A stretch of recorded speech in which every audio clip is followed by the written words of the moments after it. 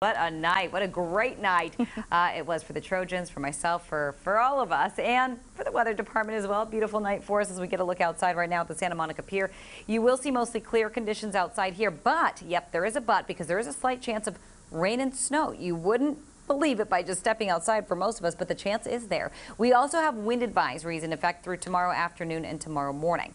Wind speeds looking like this 14 miles per hour for Lancaster, 12 for Ontario, 17 for Palm Springs, and satellite radar showing you a little bit of rain and snow currently to our north. As we get a look at what to expect right here, you will see increasing onshore winds this evening uh, into the morning, slight chance of light rain, and we could see snow levels drop to 5,500 feet and maybe a couple inches around there. As we get a look at satellite and radar tracker, you'll see maybe a few showers developing by 8 a.m. tomorrow. By 1 o'clock in the afternoon, we are drier, and by close to 7 o'clock, we're remaining dry across the Southland there. You'll see that by 9 o'clock, we are expecting to see Mostly clear conditions. So lows right now in the 40s and 50s, 52 downtown, 49 in Van Nuys, 49 for Burbank.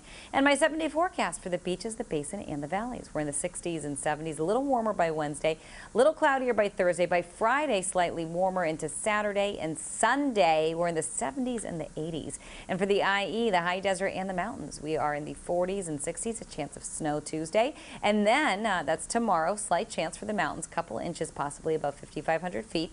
Drying out, clearing out with another slight chance of a shower Thursday. Now Friday a little warmer and by Saturday and Sunday much warmer with 70s in the mix, even flirting with the 80s by Sunday. And by Monday, we're still keeping things in the 70s for the Inland Empire, the high desert, and for the mountains, we're going to be in the upper 50s, dry conditions as we head into Monday of next week.